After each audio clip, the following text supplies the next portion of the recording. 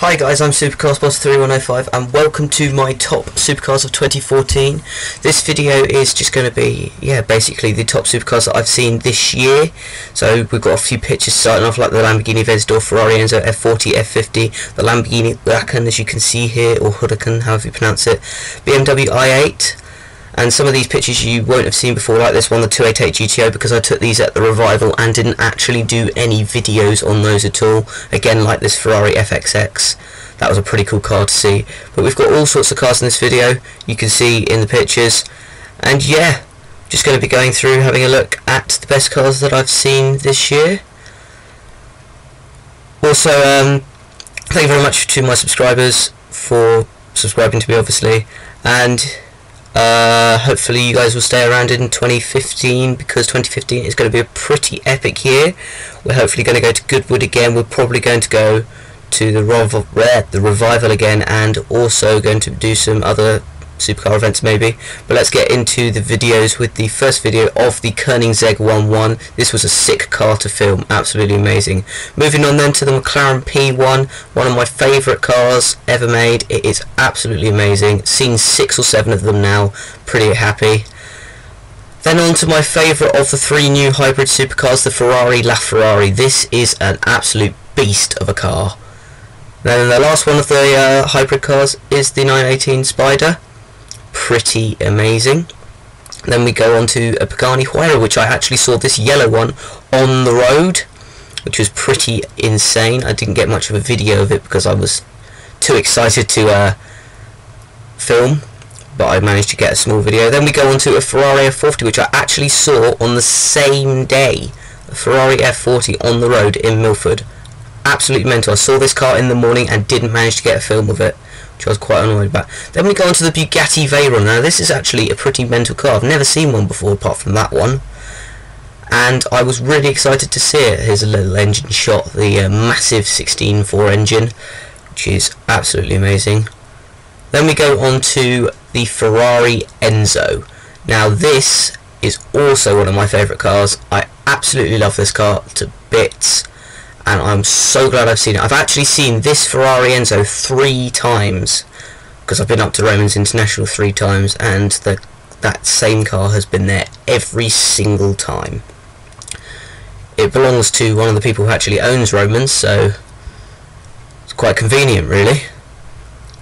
But yeah, then we come on to one of the fastest cars ever produced, a McLaren F1. Now this was actually going up to the Goodwood Revival. I did see that car at the Revival, and I was, um, yeah, it was just in Milford, and I was uh, filming it. So yeah. Also that day in the afternoon, I saw another Porsche 918 Spider.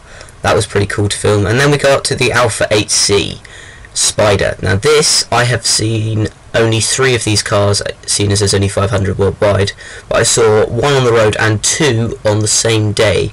This one here, and if you see my Maranello Egham, uh, Maranello Egham showroom video, I saw a white one in there too. Then we come on to my favourite supercar, the Lamborghini Aventador.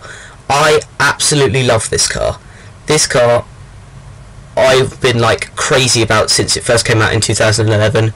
The 700 horsepower, top speed 217 miles an hour, 0 to 60, 2.9 seconds, and it was absolutely insane to see not one but two there, and one of them was a roadster, which is even cooler. But yeah, this is absolutely brilliant. It was in the per the uh, perfect spec of that you have to have a Lamborghini in, in my eyes. The uh, coupe was it was in it's in orange with the black rims which is pretty mental and the roadster as well. Absolutely brilliant car. Love that thing. It's in the grey with black wheels slightly different. There's a nice shot of the exhaust there making flames. Such a nice car. Makes such a good sound as well. But yeah pretty mental car indeed. And yeah quite happy I saw two on that day. I've actually seen that orange Aventador twice. I saw it at Romans again because it was at Romans the last time I went up, which was pretty mental. I just love the way the lights look. I love the way the car looks. I like the wheel shape. I love the massive air ducts which you can see down the side. And I also love the massive engine inside. And yeah, me just pointing to the rim there.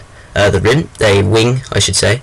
I love the glass engine cover as well. That's pretty cool, and I like the way on the Roadster they've split it in two, which is actually pretty awesome.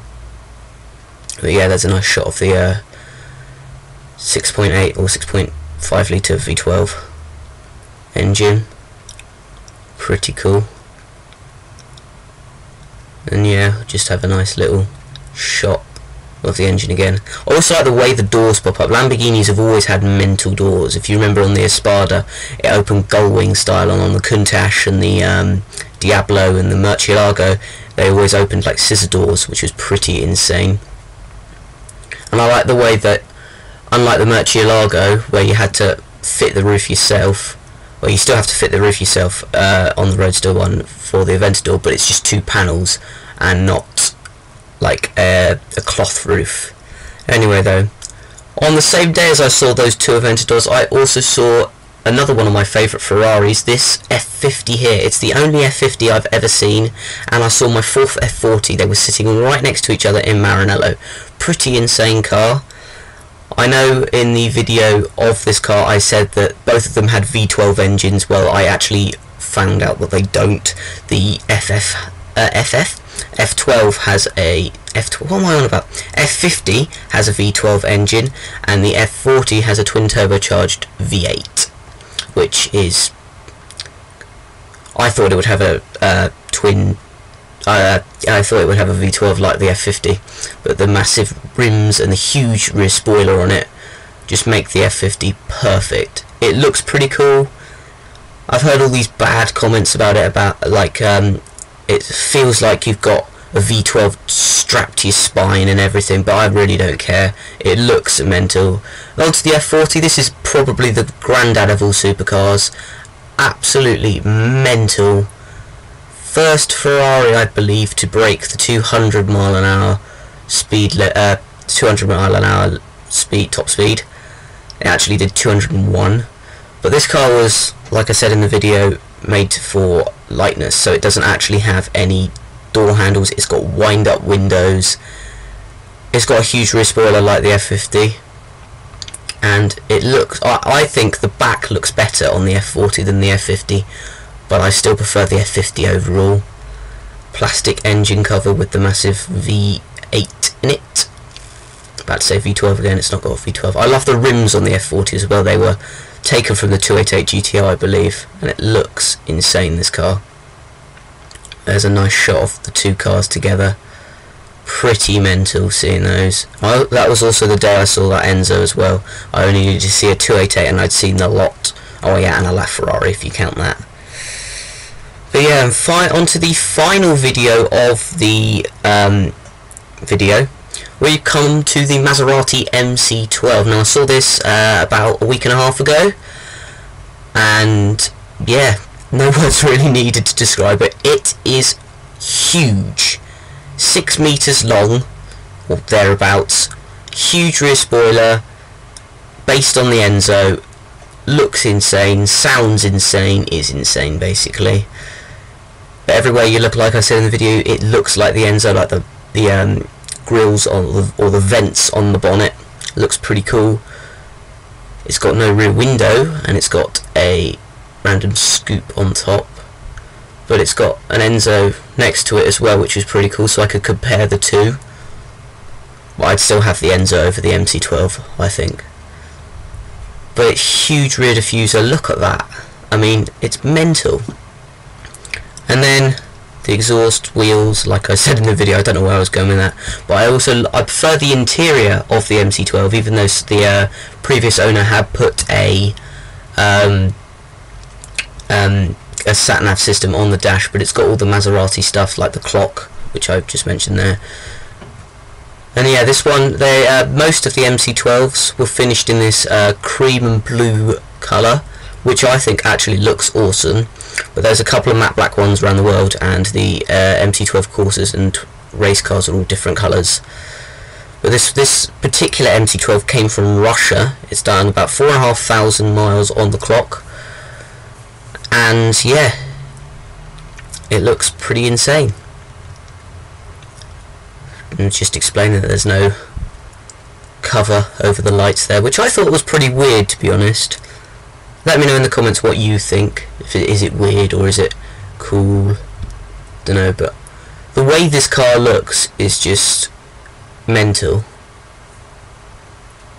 It's a nightmare to drive, a nightmare to park, don't care, it looks insane. And yeah, pretty cool car to be honest. I always think that the uh, grille looks like it's smiling, which is a good thing because I like this car, and I, I would smile if I had one as well. but yeah, pretty mental year of cars, seeing some of these. And yeah.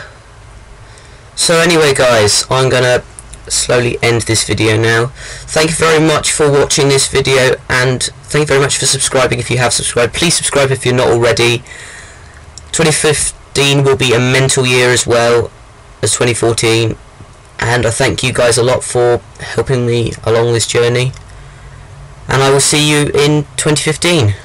Have a happy new year. Cheers guys.